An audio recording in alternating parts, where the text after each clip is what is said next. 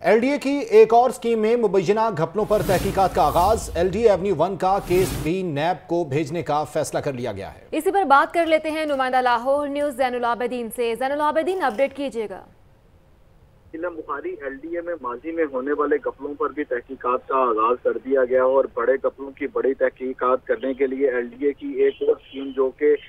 عرصہ سے تنازعات کا شکار ہے L D A avenue one اس کا کیس بھی نیب کو بھجوانے کا فیصلہ کیا گیا ہے۔ اس سلسلے میں اعلیٰ افسران کی ہدایت پر director L D A avenue one Khawaja Tauqir نے ریفرنس کی تیاری شروع کر دی ہے۔ اس سلسلے میں ذرائع کا یہ کہنا ہے کہ L D avenue one scheme کے ڈیزائن میں قانون قانون کے برعکس ترامیم کی گئی اور یہ قانون کے متضاد بنایا گیا اور اس کے ساتھ ساتھ سکیم کی اراضی میں ایگزمشن کے معاملے پر من پسند افراد کو نوازا گیا اور مبینہ طور پر ڈبل ایگزمشن کے ذریعے سرکاری اراضی کو تقسیم کیا گیا تاہم اس طرح کے کیسز منظر عام پر آنے بہت شکریہ آپ کا زین العابدین۔